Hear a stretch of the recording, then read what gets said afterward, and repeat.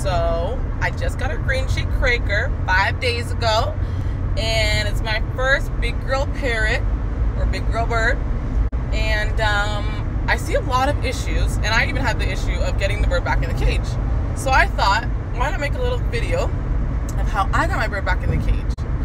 Quick background is it started off with a little bit of training um, with the clicker training, which I'm sure everybody knows the clicker training by now. And we were doing little things like dance, and then she wanted to give me a kiss, or he, we don't know yet.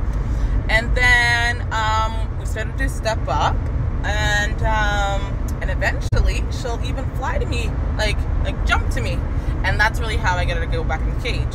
So here's a little clip of our training over the last five days. Well, today's today, and, and what we've done.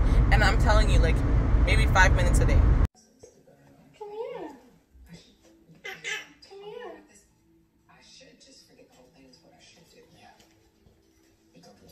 Propose a counsel yet? You don't want me to get involved? You don't need my advice? Uh, Can I have a kiss?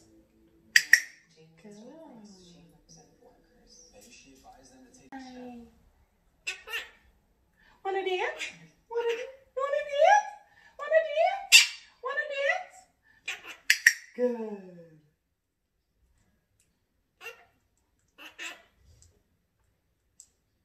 friend help me? Can I have a kiss? Restraining order. Can I have a kiss? I got out. There you go. Sorry. Sorry. No. Wanna come? Will you come Wanna come?